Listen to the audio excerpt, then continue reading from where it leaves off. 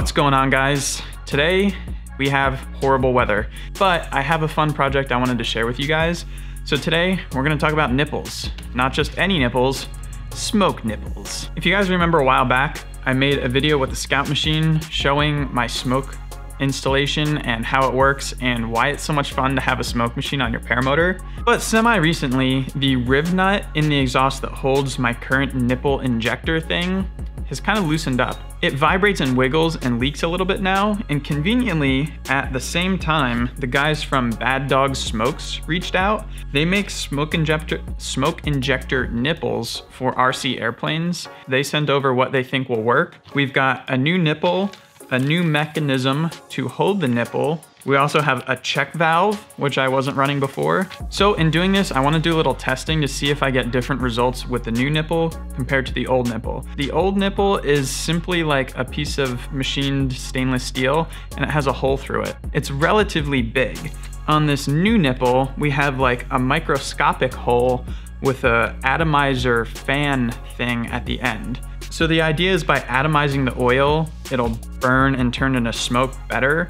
And with a smaller hole, we'll hopefully get longer uh, smoke runtime on the same volume of smoke. Before we do anything, I'm gonna pour in 20 ounces of smoke oil to my pre-existing nipple and just run through the entire tank see how long it lasts, and observe the characteristics of the engine. Then I'm gonna do the swap, put on the new nipple, and add another 20 ounces do the same test, see if we get a longer runtime, see if the characteristics are any different. And then after that, I have used vegetable oil. And I always kind of wondered if, ew, that's disgusting, if um, vegetable oil would work in a smoke system. And as we fly around, it'll smell like french fries. That's the theory, I don't know. First step is going to be filling the tank with oil and running out an entire 20 ounces on the current nipple setup.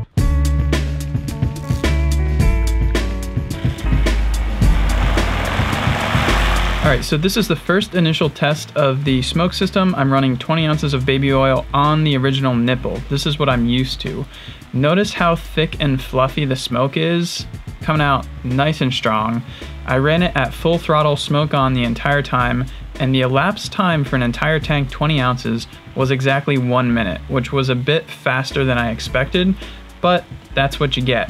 So uh, I'm gonna go ahead and time lapse the rest, check it out, pretty sick.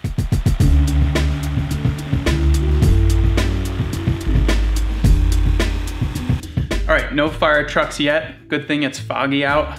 First step to this job is I'm gonna take the entire exhaust off. So I'm gonna pull this bad boy off. Um, only downside is it's smoking hot right now, so I'm gonna be careful.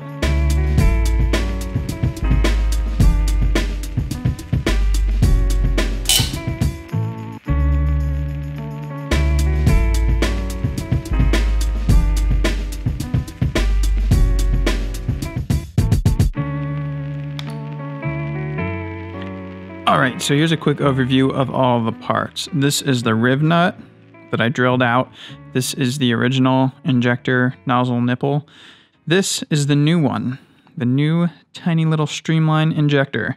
It's got a pinhole at the end and you can see this notch cut out is uh, for atomizing and turning the oil into a fan spray. And this is the hardware you are given to uh, mount this nozzle in place of a riv nut. Now this setup is epic. It'd be nice if um, I didn't already have a giant, huge hole drilled in my exhaust because the only issue I have is look at that play. My hole that the original riv nut was in is too big for this. Um, if you were starting fresh and you didn't have a hole drilled and you drilled it to the right spec, this would be perfect. Now I'm going to try to make it work anyway with this little guy, incoming washer, and uh, he's hopefully going to help smooth that over. Let's see if we can get this hardware in this hole.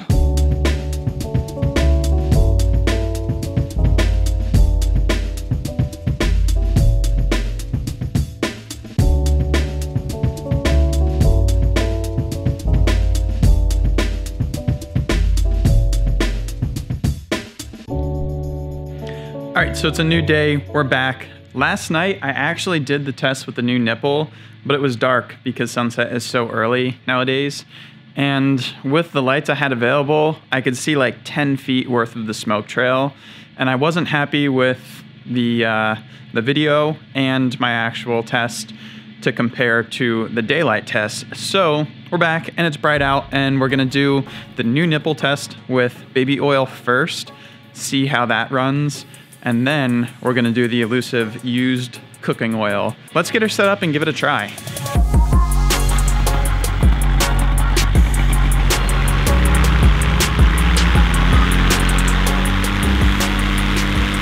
All right, here we go with test number two. This is with a brand new nipple, same 20 ounces of smoke. And the only thing I will point out is that this day was a bit windier, so the smoke didn't linger, it got blown away.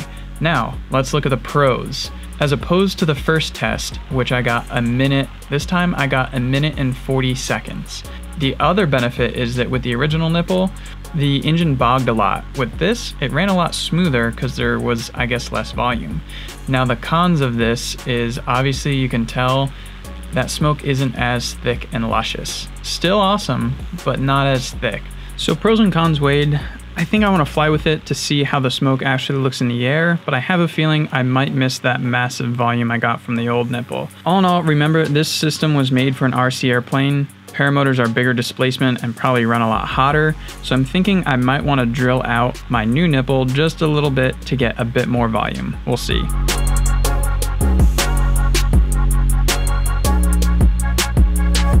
All right, the moment we've been waiting for. Used vegetable oil used for frying. Will it make smoke? We shall see.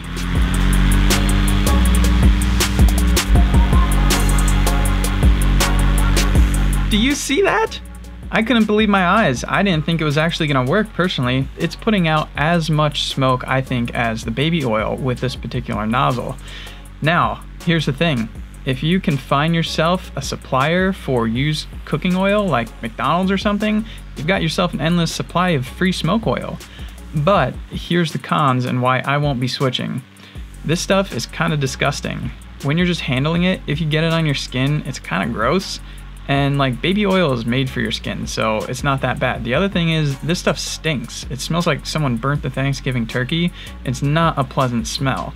Uh, baby oil, on the other hand, when you blow it out and you fly through it, it's got lavender or pomegranate or whatever. It smells really nice. So overall, I was impressed, but I'm not going to be switching. So I hope you guys enjoyed this episode. I am going to wrap it up here as we burn out the last bit of frying oil, and uh, I will see you guys in the next one. Till then, peace out. Virtual boop. Bye.